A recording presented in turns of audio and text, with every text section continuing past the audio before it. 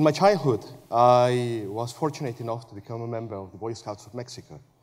And as all Scouts do, I made a promise. I promised to be helpful, to be useful. And of course, at that time, and right now, and along my life, I've always wanted to fulfill that promise, but at that time, I didn't know exactly how to do it.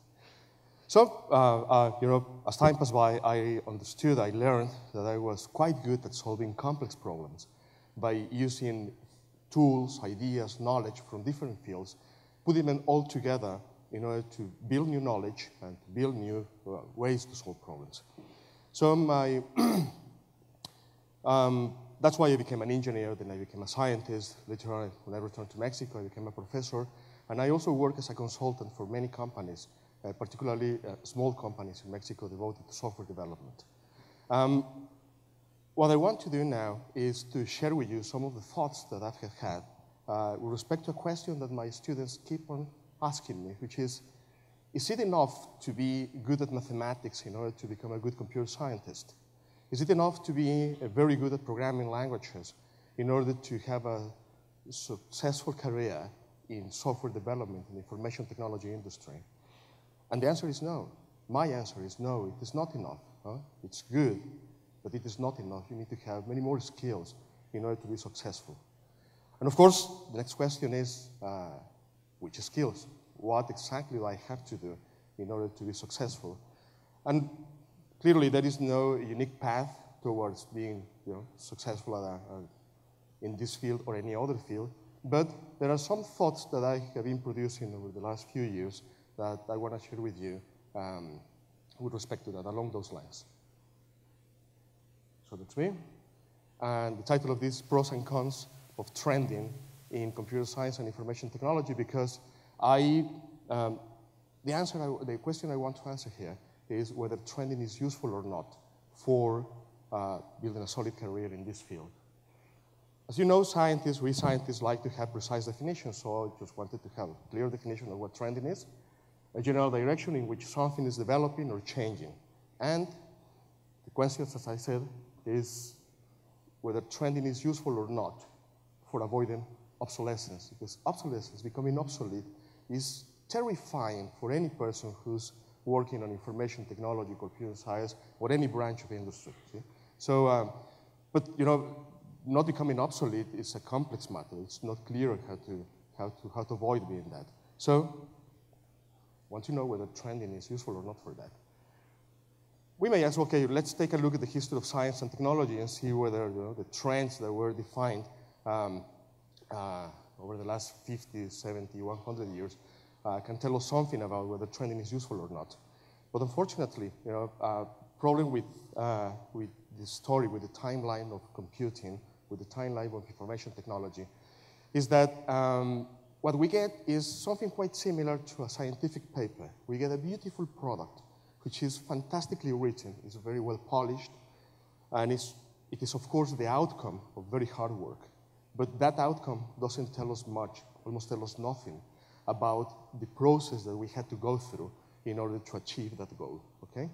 Um, for example, people who were working on, uh, on building mainframes, uh, those engineers at that time, back in the 30s, the 40s, the 50s, uh, could they, how could they actually manage you know, to see that the development of computer science and computer industry was going, to go from you know, huge machines like those ones, like mainframes, into smaller machines but way more powerful. Uh, in the 80s were called personal computers. Many people didn't realize it, and that's why their careers, you know, they were very successful in the short term, but in the long term, they were not. They were out of the game simply because they couldn't realize what were the uh, what, what, what, were going to be the trends in the, or the future trends in this field. The same for people in my age, my generation, who learned how to program computers using personal machines, you know, personal computers. Uh, many of us just couldn't even imagine that there were going to be smartphones that, were, that would be more powerful than the actual computers that we used when we were students. So how can we identify those future emerging behaviors, knowledge, trending that will allow us to build, as I said, the point is long-term career. It's the same with a paper. Uh, the frustration, all the back and forth, all the things that we have to do, all the steps steps that we have to take back in order to achieve, uh, in order to get some, uh, achieve some scientific goal, uh, cannot be seen in a paper. You only get, you know, the, the nice part of like uh, when we are know, girlfriends and boyfriends, you see the best part of us, but then when you get married, well, you, get, you get to see the whole thing. You don't get to see the whole thing in a paper. So, one important question in order to answer the first one is uh, whether innovative, idea, innovative ideas are always welcome in the IT business, and the answer is no, it is not. Is training a good guide in information technology? Not necessarily. If, um, as any student or any graduate would do, uh, is capable of identifying the very um, uh, current trends that are happening in software development, in hardware technology, then we are very much uh, well prepared in order to get a job in the very short term, in the immediate future, in the near future. But if one wants to have a job for new and unexpected paradigms in this field or any other field of industry, then it is not enough to know what people are doing right now. We need to have the means in order to glimpse at the future. And this is my answer. Information technology, I mean, the, the, the, the reason for saying that trending is not necessarily you know, a, a, useful element in order to build this kind of careers, to have a long-term success, it's because information technology, computer science, and many other branches of industry uh, run in two directions in parallel. One of them is to have business as usual. That's typically the case when a company is um, using computers or networks or whatever it is as a tool in order to achieve business goals. Okay, so uh, the way it works, you know, the way uh, technology is inserted into that into that scenario is just as a tool, as an advanced tool, but a tool still. Okay. On the other hand, disruptive ideas usually bring up uh, new paradigms, new ways to do business, but it takes time to incorporate those ideas into the mainstream. So, if one is to build a very solid career uh, along this path, then we must be able to identify these two walls and to work on them in parallel. To be good at doing business as usual, and at the same time to be open to new ideas, to have all the um, habits that will allow us to acquire new information, to process it, and then to bring it into the market. Okay? And that kind of people, I call them influencers. Okay? Now, how to become an influencer? That's a big thing. It's like you say, well, I want to have, you know, I want to be very good at my job, but I don't know how to. Well, that's the point. How can I become a good influencer? Well, first of all, I need to learn three languages the language of science, the language of engineering, and the language of business. In science, we care about the fundamental properties and structures of nature. That's what we want to know. That's the very purpose or the ultimate purpose of science.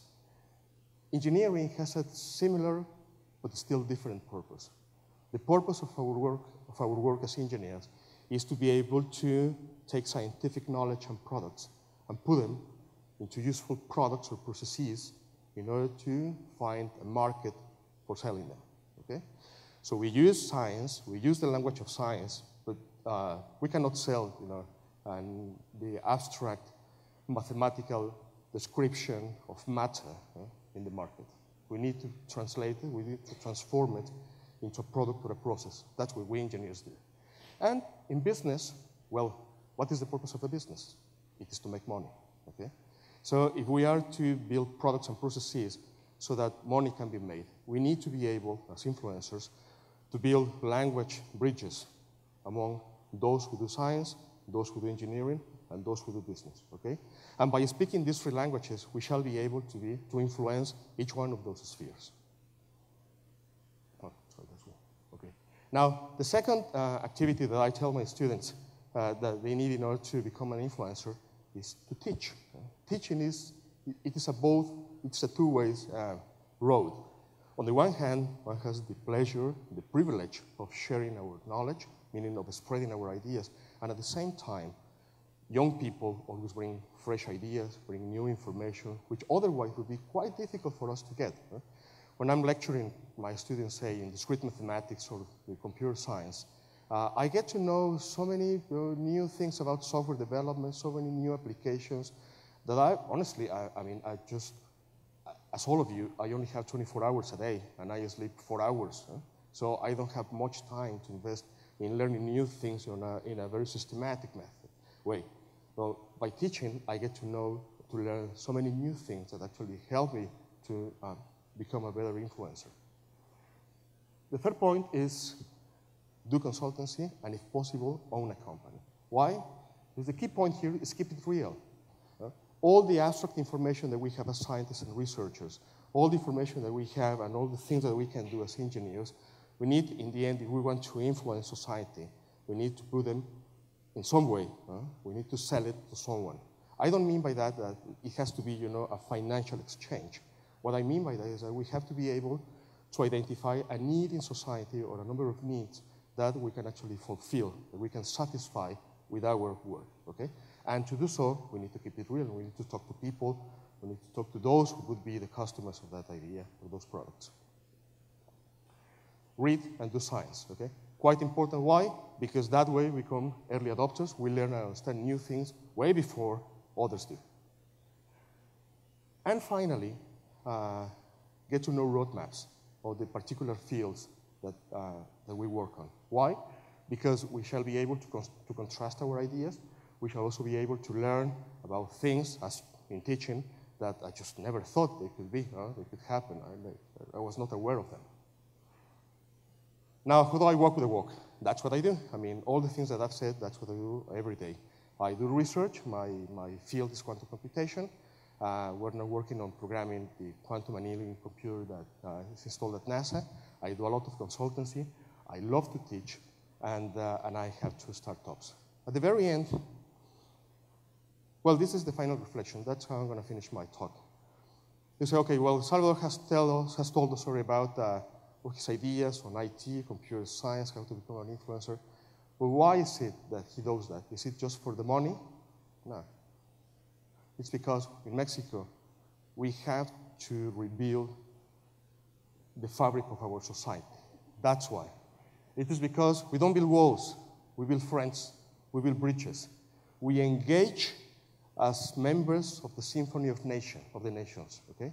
And that's why I work very hard on doing research and teaching my students, because we build friends, and we build strategic alliances by means of hard work, common interests, and trust. Thank you very much.